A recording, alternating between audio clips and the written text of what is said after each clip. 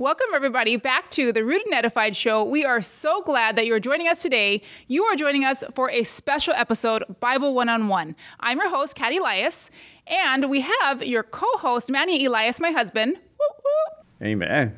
but today he's our guest. So he's a co host of our show, but today he is a special honored guest that we are so happy to be with us today. He has a lot of wisdom to impart, and I hope that you stick with us for the whole episode because it is going to be a good one. Before we introduce our special guest more, I want to tell you a little bit more about this podcast. This show, the Rooted and Edified Show, is a fun loving, no facade, conservative Christian worldview show that's Bible believing for both men and women, where we showcase the four T's testimonies, topics, talents, and theology.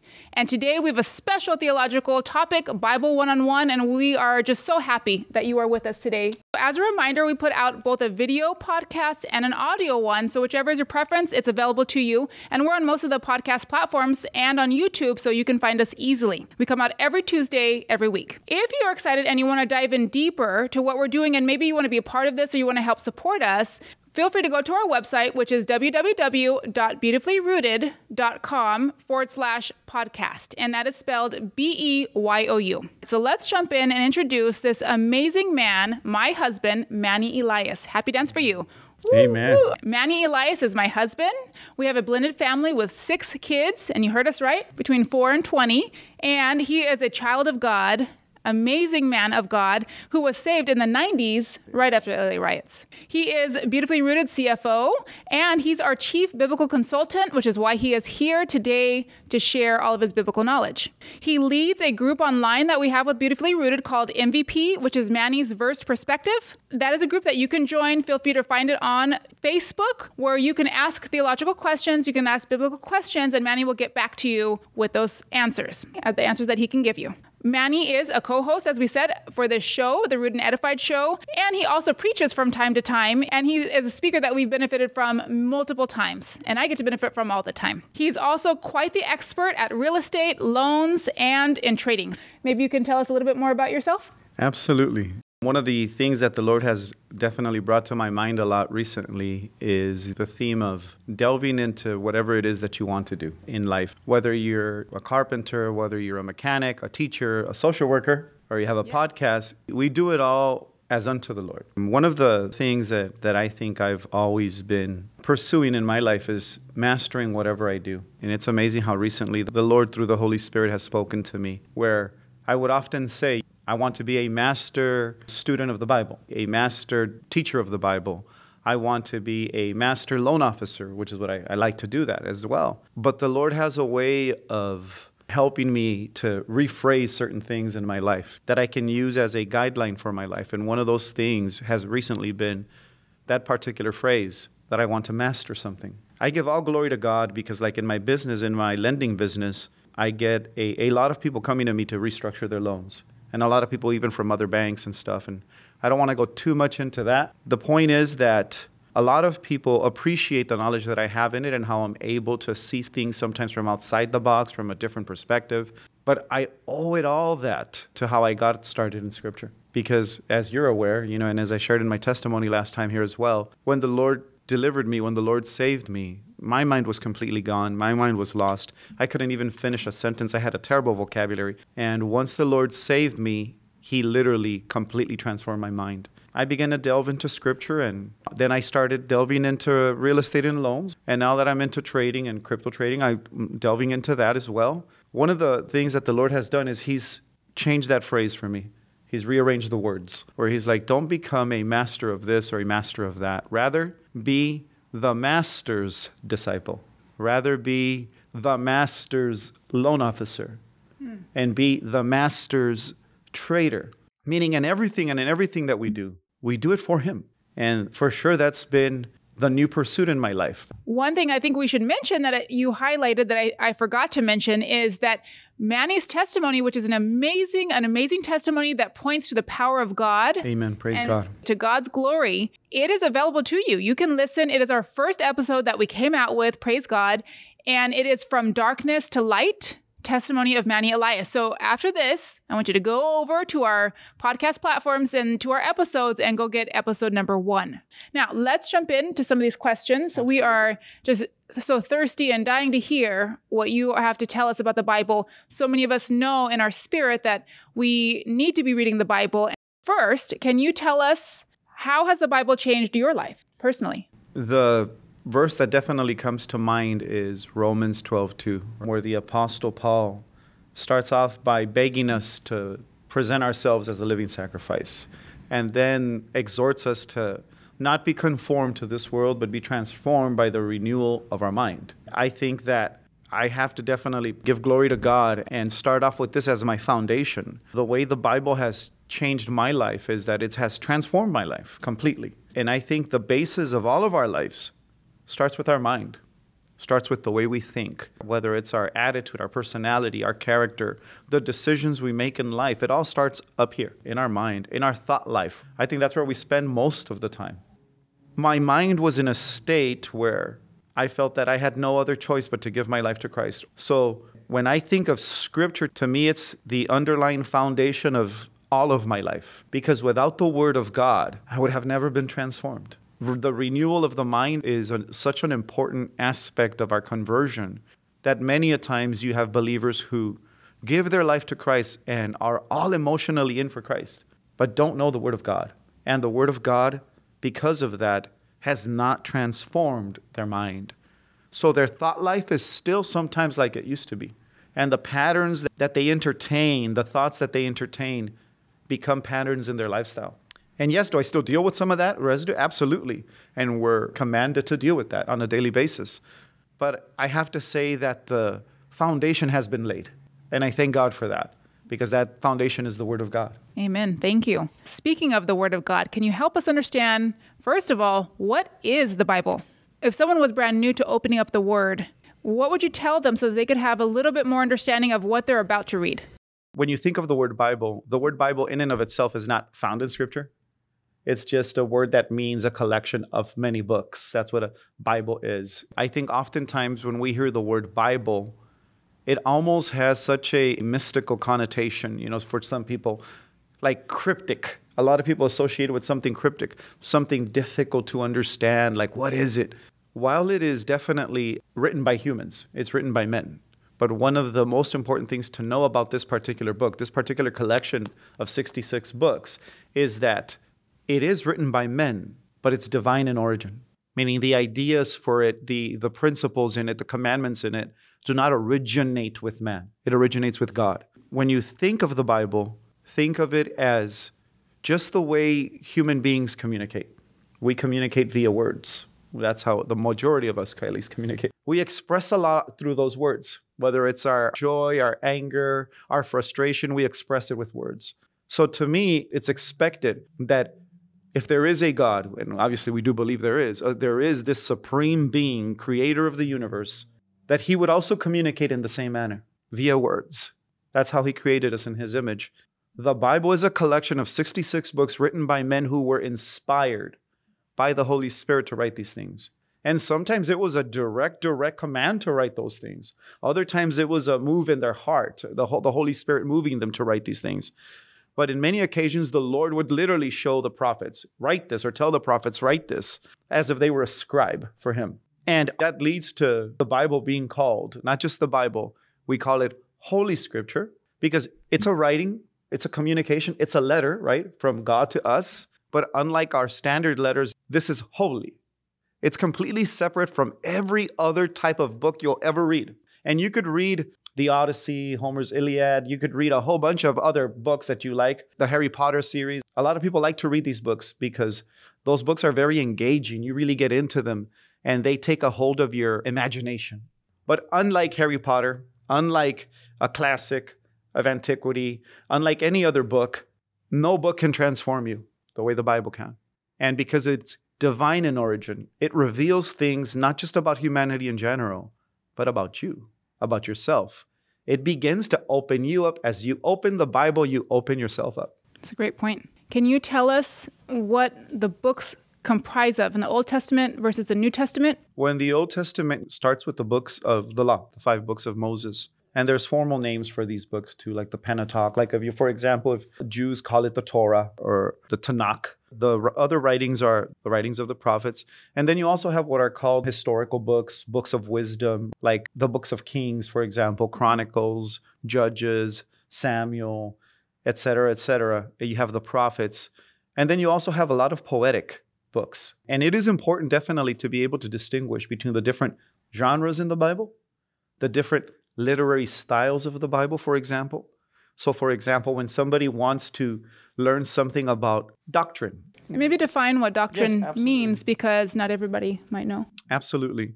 Doctrine technically is just a teaching regarding, in this particular case, the teachings of Christ. Because when the Gospels were written, the Gospels, for example, that's another genre, right? It's a historical narrative, it's a biography of the life of Jesus Christ. So when you read the Gospels, a lot of people try to build their doctrine on the Gospels, but you can learn from the Gospels, absolutely from Jesus' teachings. You can learn from that, but you don't establish, for example, doctrines in the Gospel. What you do is you start with the Gospel and then you go to those who Jesus commanded to teach us about all of his teachings. And who did Jesus command to teach us about his teachings? The apostles. When you get to what is called the epistles, those are doctrinal epistles, meaning they're letters that were written to clarify teachings. Because, for example, somebody would take a teaching from Jesus in the Gospels and say, Well, Jesus teaches this, and as Gentiles, you still have to keep the Sabbath. And that actually became an argument that they had in the first council in the church, right? In Jerusalem council. Peter himself didn't really want to go to a Gentile's house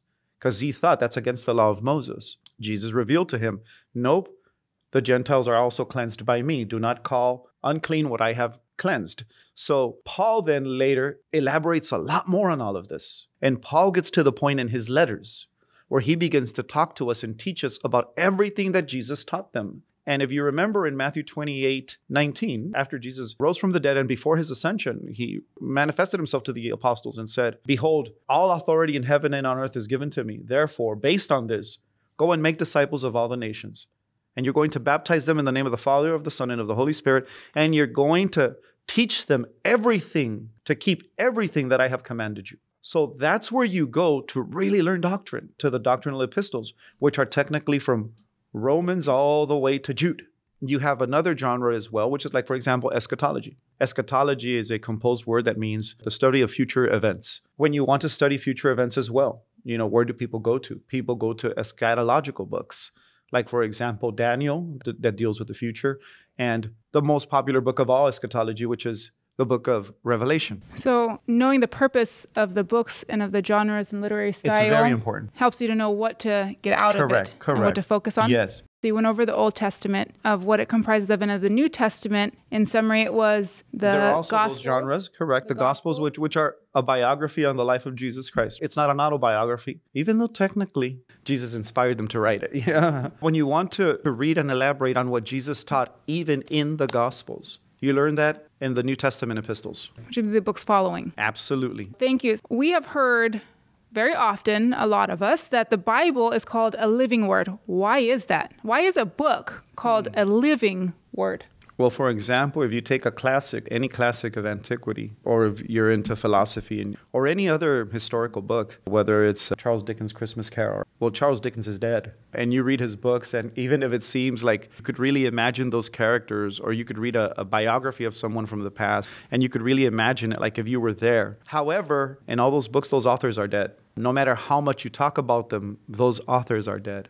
And those books cannot transform your life. They can entertain you for a while, but they won't transform you. Like transmutate, like literally take something in you and completely change it.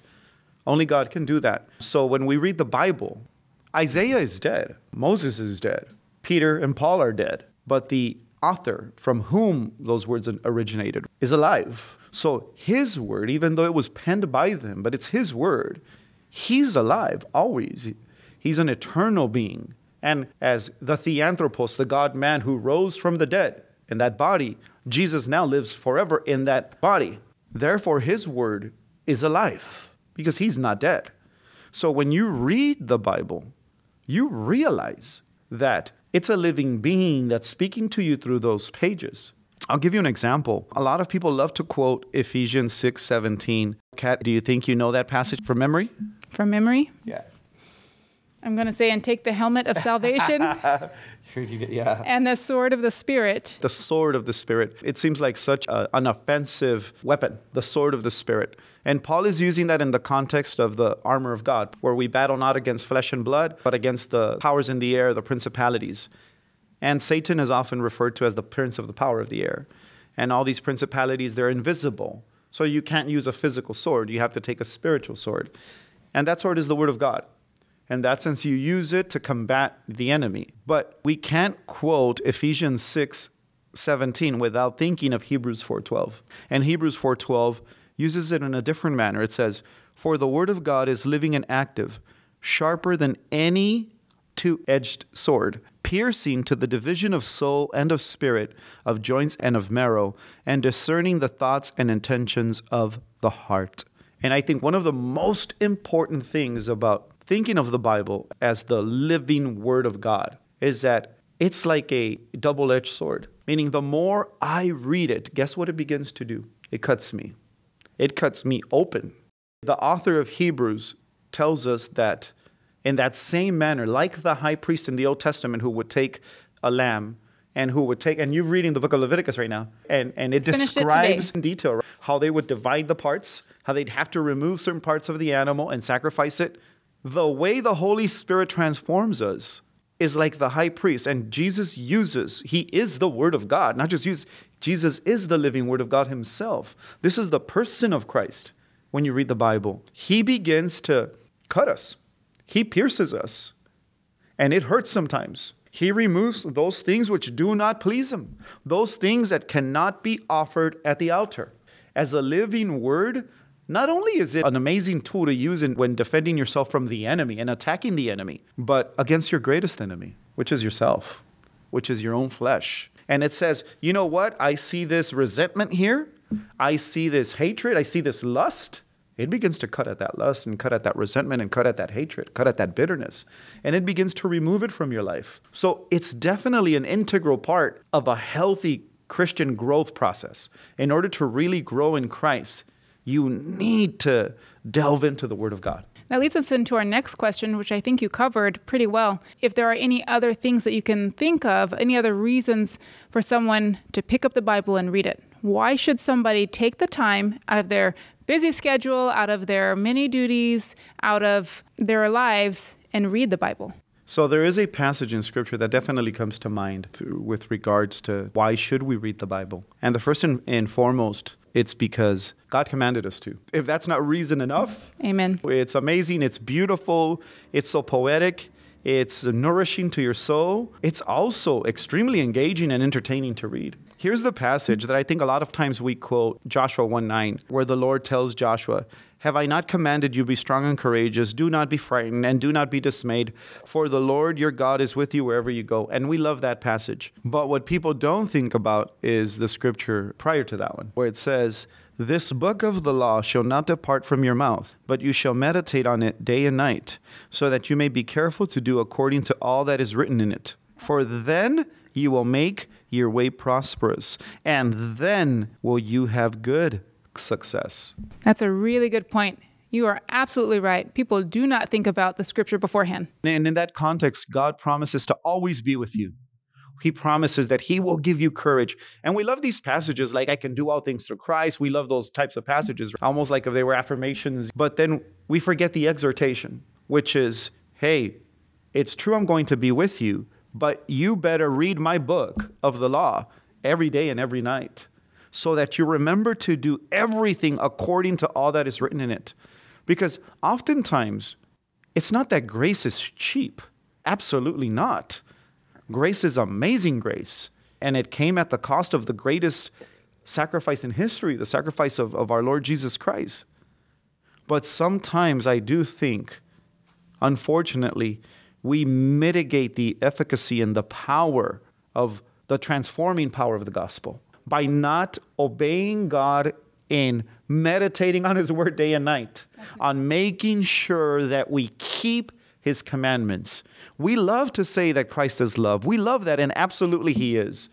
But we don't like the part, or we forget the part where it says, If you love me, you will Keep my commandments. Keep my commandments. Well, maybe we like the part that Jesus does, but we don't like the part that we're responsible for. Absolutely. Now, the New Testament. Now, I know you love the Old Testament. God bless both. you. I love both. God bless you. But for many of us, the New Testament just seems so much easier to read. It seems like it's written in our language. Can we just stick in the New Testament? Is the Old Testament even relevant to us today? Absolutely, it is. It behooves us to remember that when the apostles taught about the Word of God, when Jesus himself quoted Scripture and said, This is what the Scripture says, according to Scripture, that's all from the Old Testament.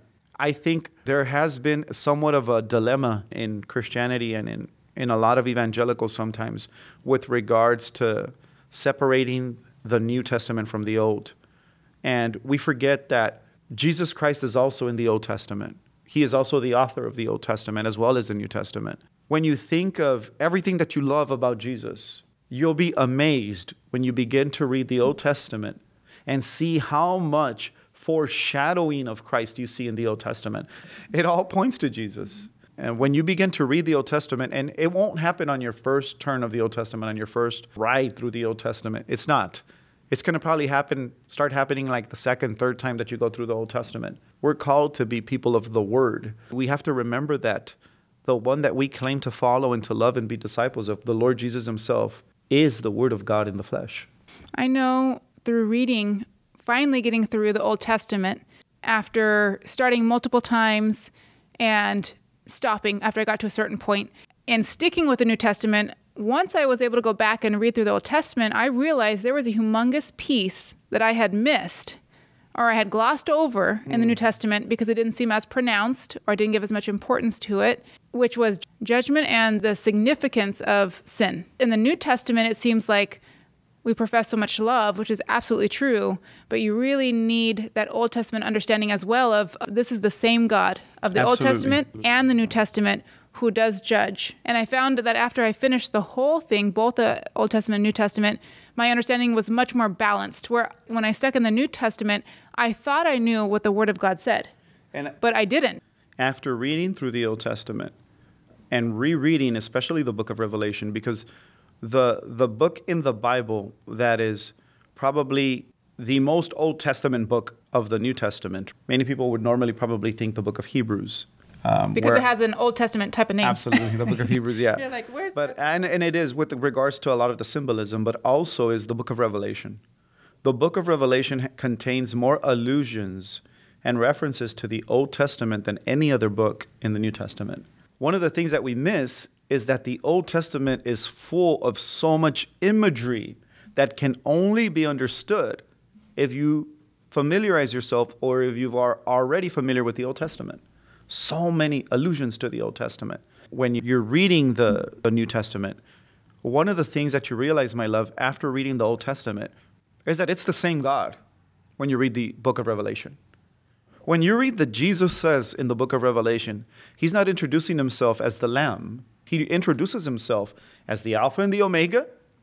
And then it's a beautiful title that he gives himself there where he tells John. And, and John says, And he said to me, And I am the ruler of the kings of the earth. That's a great point because I think once we get to Revelation, we feel like it's a book that is out of nowhere. and It's completely Absolutely. different. Yes, completely. And yes. it seems like when they're talking about Jesus, it's a different Jesus. Now, if somebody says, okay, I'm going to jump in and I am ready to read the Bible, do you think there's a better way to read the Bible? I personally always go back to the old fashioned way, reading it cover to cover, um, just the way you would read any other book. Would you start with Genesis? And I would actually start with Revelation? one book, alternating between the old and the new. For somebody that is a recent convert, you need to be introduced to Jesus. So, for sure, start with the gospel. After you read one of the gospels, you want to go back to the Old Testament and you want to start with the book of Genesis. There's just something about familiarizing yourself with a lot of the stories of the Old Testament.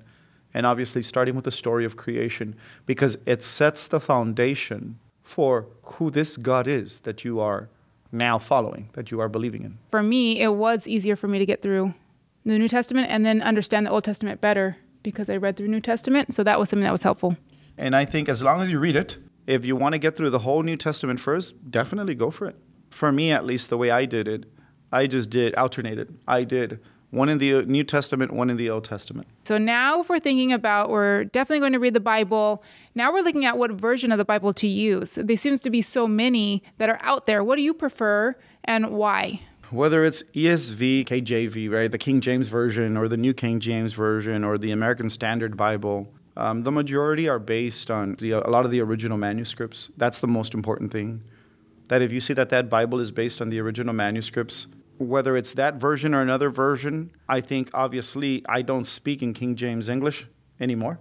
You know, I, even though I started reading the King James version, and in and in um, Spanish I would read Reina Valera, and I'm like, nobody's ever spoken Spanish to me like that. You know, my mom or my grandma, nobody. But I still learned from it. Had I been given the option back then to read the ESV, I would have probably preferred the ESV, which stands for English Standard Version. It's not too simple to where you feel like you lose the context in the translation, but it's not too hard. Would you recommend somebody using a Bible study guide? Absolutely. What's a good route for people to take when they don't understand a passage? First, I definitely need to clarify and state that it could never replace Scripture. Even the best commentary, even the best devotional. Right now, devotionals are really popular, and a lot of people love to get into devotionals. I would never say steer away from devotionals, never ever. But I would say don't let them replace the Bible, even a commentary about the Bible.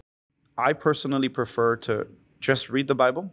One of the most important things is this that the Word of God speaks to you, and you might find a glimpse of it in a devotional. But there is nothing like you opening the Bible and Jesus speaking to you through the Word of God. Beautiful, it's powerful. When, like I said, like a sword, it begins to pierce you, it begins to cut through you. And sometimes through human interpretation, through other interpretation, or human guides, it filters it so you don't get that full experience. So you definitely wouldn't use a study guide by itself or devotional by itself, but when somebody is, especially when they're first yes, absolutely learning about the absolutely. Bible, it's a great utility. It's a great tool. You would utilize it in combination, yes, right? Reading absolutely. the Bible, absolutely. And and I tell friends who, who read stu- devotionals and who really like devotionals, I'm like, I would never tell you do not read a devotional, but I would tell you still set time aside for strictly just reading the Bible. You got to remember, I don't know how many devotionals Paul had or read, but well, he was the commentary. he was, he the, was commentary. the commentary That's for right. everybody, right? That's right, he was. The last question that comes up, I don't know if it can be done briefly. This might need to be its own episode, but how can we know the Bible is true? How do you test that? There's a beautiful acronym that actually one of my favorite Bible teachers came up with, Hank Hanegraaff. He still ha- leads the Bible Answer Man. That, by the way, that's a great resource, the Bible Answer Man. There is an acronym that he came up with called MAPS, where the M stands for manuscript, manuscript evidence, meaning there is no other book that we know of ever written in history since the inception of writing itself. There is no other book that has the manuscript evidence that the New Testament has. Even when you think of certain heroes of antiquity, like Julius Caesar, for example, Alexander the Great, Cleopatra, all these people, do you know that the amount of manuscripts that we have bearing testimony to their existence and their feats and all that stuff are minimal compared to what we have for the New Testament. I believe that for the New Testament, we have a total of around maybe approximately 25,000 to 26,000 manuscripts in various languages that testify and give witness to the New Testament. So you have manuscript evidence. So obviously, if God really did write this book and He is the author of this book, it's going to outweigh all the other manuscript evidence we've ever seen or we've ever had. And manuscript just literally means manuscrita, like written by hand, versus you know the printed one. This is the original manuscripts, the original writings. Some of them dating back to as far as AD 30 something, for example. That's one. The second one is the A in MAPS stands for archaeology. Archaeology is one of the best friends of theology because uh, for a long time, a lot of skeptics doubted a lot of stuff in the Bible. Archaeology is a fairly new science. I believe it started in 1870 something, I think it was. Well, anyhow, when it did, it began to uncover and to buttress, to support a lot of the claims in the Bible. And that's why skeptics like even C.S. Lewis initially, and you had other people like the author of The Case for Christ, Lee Strobel, Josh McDowell. A lot of these people were setting out to disprove Christianity and to debunk it. And in their research, they came across so much evidence that it compelled them to accept Christianity and to accept Christ.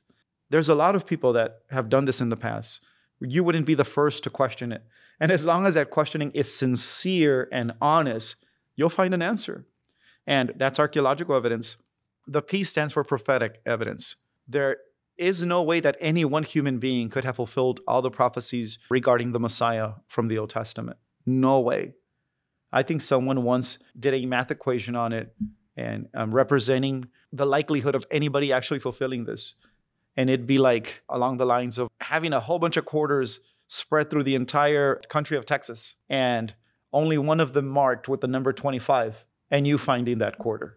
That's how difficult it would be for any one person in history to fulfill everything that Jesus fulfilled about prophecy when he was on the earth for those 33 and a half years or 33 years. So there's prophetic evidence. And one of the greatest prophecies that vindicates Jesus as the Messiah for us as believers was the resurrection from the dead. Right? He only appeared to believers. He didn't appear to Caiaphas, the high priest, even though he had told Caiaphas, "You will see me coming in the clouds at the right hand of God," referring to the, the prophecy of the Son of Man receiving authority to judge in the book of Daniel. And the high priest knew what Jesus was referring to when he said coming in the clouds. It was a statement that represented judgment. So there was a prophecy of Jesus in Matthew chapter 24. And that prophecy is with regards to Jerusalem being destroyed and the temple being destroyed. That prophecy was fulfilled in AD 70. To this day, anybody could research any historical book about that particular prophecy. And in my opinion, it's unfortunate that it's not taught enough from the pulpit. Not too many Christians know this that the greatest prophecy to vindicate Jesus as the Messiah to the Israel and the world, especially to Israel, is the prophecy of AD 70 of the destruction of the temple, which did take place exactly before the end of that generation when Jesus prophesied that. And for a long time, a lot of the Jews said that Jesus was a false prophet because that prophecy was not fulfilled. And because remember, in the Old Testament, you could prophesy and be accurate, but if you missed one, you were a false prophet. They mocked Jesus until the Romans destroyed Jerusalem. And now, when we look back, one of the things we can't forget is a lot of those prophecies were fulfilled in Christ and were fulfilled in the destruction of Jerusalem. So, as Christians, we have a lot of evidence that testifies and bears witness to the authenticity of those words that Jesus uttered in Matthew 24.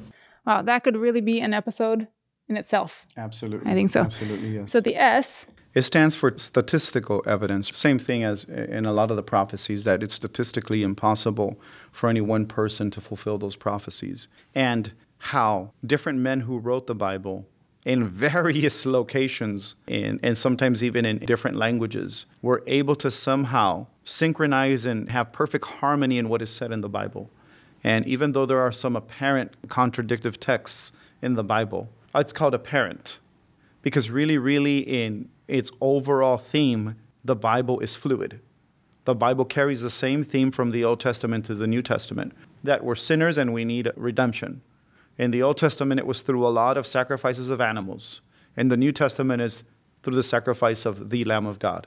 Everything that was done and, and orchestrated was not orchestrated necessarily by men, but by God to make sure that we could have what we have now as the Bible. And so that statistical evidence is also there to show us that it wasn't something that was created by all these men that suddenly got together and said, let's just make the Bible. Thank you for that. That was amazing. I think all of us are super encouraged to jump in, read the Bible, continue reading the Bible.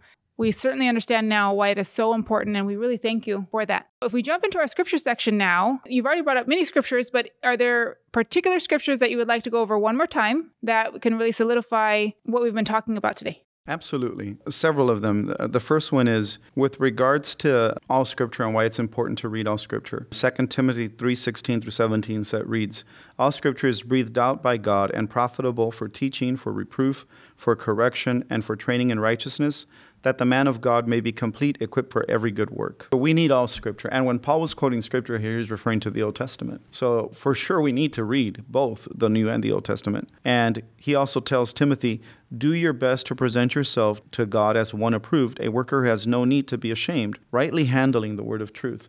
If you don't really read the Bible a lot and you begin to talk to people about Jesus and you say you want to be a disciple of Christ, it's like anything else that you do could you be a great social worker if you never met anyone and if you never studied the, the, the material required to be a social worker? No. You couldn't. I couldn't do loans if I didn't read up on guidelines continually for Fannie, Freddie Mac, and all that stuff. I wouldn't. I dedicate a lot of time as well to even technical analysis when I read charts for trading. I could not be a good disciple without reading the Bible. It's almost impossible. And also, like I said, you miss out on a whole lot of God transforming your life through the Bible. And then the other passage that I definitely want to share with you guys is actually a recurring theme for me. There's a passage in Luke when there's two disciples. They were leaving Jerusalem after Jesus died. And even though the women had already said that Jesus rose from the dead, they left Jerusalem. They were leaving the scene. They were skipping town. And on their way out of town, they were going towards another town called Emmaus. So on their way there, Jesus meets them. As he meets them, he confronts them. He hears them talking. And then he confronts them and says, Hey, what are you guys talking about? And they're like, Are you the only person in all of Jerusalem that doesn't know what's going on? So ultimately, this is what it says. And this is in Luke chapter 24, verse 25 to 27. And it says, And he said to them, O foolish ones, and slow of heart to believe all that the prophets have spoken. Was it not necessary that the Christ should suffer these things and enter into his glory? And beginning with Moses and all the prophets, he interpreted to them in all the scriptures the things concerning himself. So, how did Jesus manifest himself to these people? to these two brothers, these two disciples. He literally manifested himself, but they still didn't recognize him. But then he began to open the scriptures to them to the point where in Luke 24 32, after he broke bread with them and he, they recognized him, the scripture says he disappeared. He literally teleported, teleported to somewhere else. And it says, they said to each other, this is in verse 32, did not our hearts burn within us while he talked to us on the road what was he doing talking to them on the road? He was showing them from the Old Testament, from Moses through the prophets. And then it says this while he opened to us the scriptures. I love that phrase, opening the scriptures. They finish what they're doing and they go back to Jerusalem. They walk all the way back. They're like, why couldn't the Lord teleport us to, you know? But they walked all the way back. You guys got to walk because you doubt it. They walked all the way back to Jerusalem when they're in Jerusalem, they're sharing with the apostles what they experienced. Now they're hearing the testimony of the women and they're like, hey, we believe you now because we saw him too. Then the Lord Jesus appears to them again. And then he said to them, this is in Luke 24, verse 44 and 45. These are my words that I spoke to you while I was still with you, that everything written about me in the law of Moses and the prophets, and listen to what Jesus says, and the Psalms must be fulfilled. And verse 45 says, Then he opened their minds to understand the scriptures. As you open the scriptures, Jesus opens your mind to understand the scriptures. And he manifests himself to you through the scripture because they are the ones that give testimony of him. So, yes, if you're sincere about your desire to read the word of God and to learn more about the Bible, ask the Lord. Be sincere. Say, Lord, you know, sometimes it's difficult for me. Keep me awake. You know, if that's what it is, or I can't understand this, whatever it is, and the Lord promises that he will manifest himself to you. Sometimes he'll catch you on your way out of Jerusalem. He's going to catch you on your way away from Bible study. He's going to catch you somewhere. He's going to say, Hey, read the Bible. He's inviting you to get to know him better in scripture. It was one thing for the Samaritan woman in the story of the woman in the well to give testimony of Jesus when she went back to Samaria. And she gave testimony of this man who revealed everything to her. The word of God opened her up and revealed everything to her. Jesus opens us up the same exact way. He is the Word of God. So as you get into the Bible, you get into Christ, and Christ gets into you. He opens you up. This is the uh, most beautiful part about it, though. He transformed that woman at the well. Whatever sin was captivating her, whatever sin was enslaving her, boom, those chains were broken. As Christ, the Word of God, manifested himself to her to the point where she goes into all the town. She tells everybody in town, and then guess what happens? That town comes out to see Jesus and they end up staying in Samaria for two days. And now the people in the town tell her, Now we believe, not just because of the testimony you gave us, but now we heard it ourselves. That's the thing. It's beautiful to hear a sermon on Sunday. It's beautiful, and definitely do that. It's beautiful to read a devotional and to hear a sermon on the radio. But the greatest experience you'll ever have is when Jesus himself manifest himself to you as you, in your personal devotion, in your secret chamber, your upper room, with the door closed behind you, you begin to delve into the Bible and seek him. And it's beautiful. I think the greatest revelations of Jesus' deity, of certain strong theological subjects, topics, were manifested and revealed to me as I read the Bible in my own devotional time alone When I read the Bible that way, sometimes I would cry reading scripture. And I still do when I open up the Bible. I love to read it. And I love to, sometimes you and I read together too, and we read with the kids, but both are important. We must study the Bible collectively. One leads to the other, and vice versa. Meaning, if you can only read by yourself alone and you can't engage with others in reading the Bible, there's an imbalance. And vice versa. If you can only read the Bible in church and you somehow can't pick it up and read it on your own, alone, there's also an imbalance. I just challenge everybody to do that sincerely ask the Lord if you're having a hard time reading the Bible, if something's, I don't know, whatever it is that's uh, either deterring you even or distracting you, ask the Lord and ask Him sincerely. And like these two men on the road to Emmaus, the Lord will manifest Himself to you and the Lord will open the scriptures to you. And that is one of our goals at Rooted and Edified. That one of the ways that you get rooted and edified is by getting into the Word of God and by getting the Word of God into you. Where remember, it's not that you master the Word of God, it's that the Word of God masters you.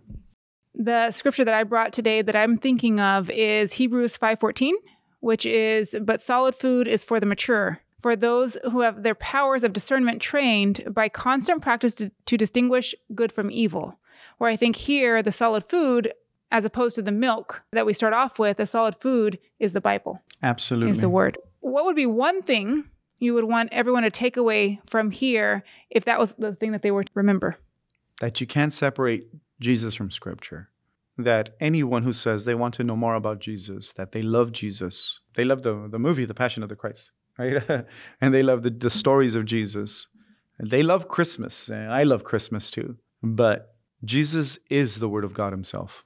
John 1 1 says, In the beginning was the Word, and the Word was with God, and the Word was God and He is the Word of God. So as you get into the Bible, if you are a follower of Christ, and if you're not, and you definitely have something in your heart that's calling you to read the Bible, that's God Himself calling you. And it's the Lord Himself inviting you to get to know Him better. And as you open up the Bible, you will know Jesus more. And it won't be just because of what you heard from the pulpit on Sunday or what you heard on the radio or what your friend told you. It because now you yourself have met the Lord. And that's the greatest experience about reading the Bible, that it's the living word of God. Believe me, people get into all these different books and series and they'll finish the whole entire series, but have such a hard time reading the Bible. And in all fairness, I will state, I don't always find it very easy to read the Bible myself. There's some times that I'm full of so much activity of other things that I'm doing at work or what have you. And when I sit down initially, my mind is still there. It takes a minute for my mind to get back in. But boy, oh boy, when I do get back in, my spirit definitely tells me, and, and I begin to commune with the Lord and fellowship with Him. It tells me, man, how was I missing out? And sometimes it's a day or two that I haven't read, and I'm like, man, Lord, I don't want there to even be one day to go by that I don't read the scripture. Thank you so much for joining us. Absolutely. what a pleasure. blessing. You will be back co hosting and being our guest on the show. Thank you so much to those that are listening or those that are watching our podcast. We're so glad that you joined us today. Just as a reminder, we are on YouTube for our video podcast. We are on Facebook and Instagram. Go ahead and give us a like if you would. Subscribe so you don't miss anything or follow. We have some things on there that you will not find on our regular podcasting platforms, like little snippets of our show and upcoming things that are going on and encouragement and things that our guests will be presenting. Would you close us out in prayer? Absolutely. Thank you. Heavenly Father, we thank you so much, Lord, for your love, your mercy, we thank you for manifesting yourself, Lord, in such a beautiful way in your word. And we thank you, Lord, for bringing us Gentiles into your people, into your family, into your kingdom, Lord. That we are all now also children of Abraham. And we are no longer, Lord, um, foreigners. We are no longer, um, Lord, destitute. We are no longer alone. Now we, the Gentiles, also have you as our Messiah. We thank you, Lord, because um, we've inherited such a wonderful kingdom, a kingdom that cannot be shaken. We thank you because now we also are people of the book. We love your law, we love your word. And Lord, I pray that everyone out there, um, especially believers who, who are having a hard time reading your word, Lord, that you would change their heart, that you would change their mind, that you would change their will so that they would dedicate more time to your word, that they would encounter you in your word as, as I've encountered you, or better stated, Lord, as you've encountered me. It's so beautiful, Lord, how you manifest yourself to us in your word. I pray that your word um, would not return void to you, but that your word would return to you with fruit, multiplied a hundredfold, Lord. That you would work in the hearts of all those who who hear us and who see this um, video. I pray that just the way you transformed my life and just the way you've transformed millions of lives with your word, that you would transform them as well, Lord.